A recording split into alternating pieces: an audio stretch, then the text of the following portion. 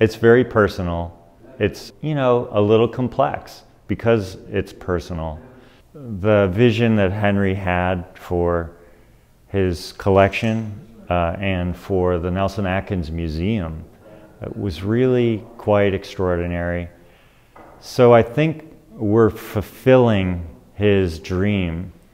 And even though it has a few bumps, things change at his house. One day the paintings are there, and next day the paintings are gone.